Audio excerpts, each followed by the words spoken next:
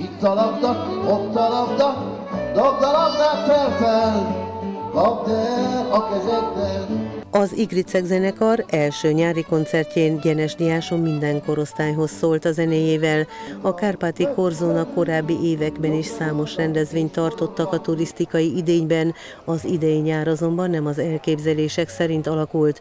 A tervezettől eltérően új program a Gyeneson került a nyári kínálatra. Mindeneket nagyon kell ügyelnünk, hogy ne tévesszük össze a szokásos rendezvényeinkkel, ahol a mostani szabályzás szerinti maximális 500 főt rendszerint meg szoktuk haladni haladni, és ezért, ezért a következő héten a bornapokat borsétánynak hívtuk, több részletből áll magából a, a boros sétányból, és természetesen műsorok is lesznek.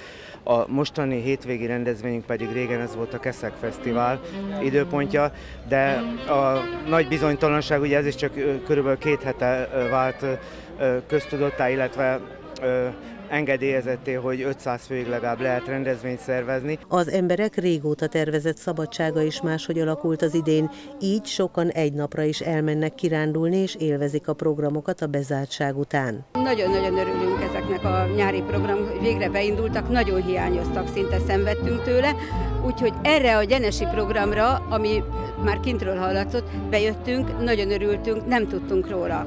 Tehát az a baj szerintem, hogy nincsenek meghirdetve még ezek a programok, nehogy sok ember legyen, és, de, de így is hál' Istennek sokan összejöttek, ennek nagyon örülünk. Ezek a zene ez jó, nagyon tetszik nekünk, az ilyen megzenésített versek, ahova lehet elmegyünk. A Gyenes Diáson táborozóknak is remek alkalom volt a kikapcsolódásra a Gyeneson hétvégi programja. Én a Vas Lajos népzenei táborban veszek részt itt.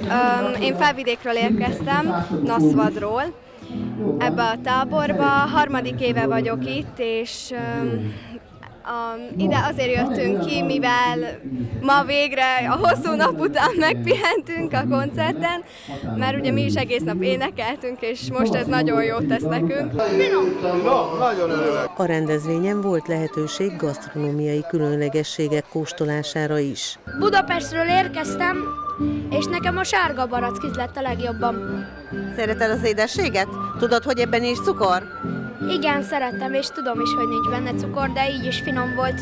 A piac téren a jó zene mellett árusok, kézművesek kínálták portékájukat. A friss gyümölcsből sem volt hiány, de ami a legvonzóbb volt, hogy kezdte a régi képét mutatni Gyenes Diáson is a rendezvénytér.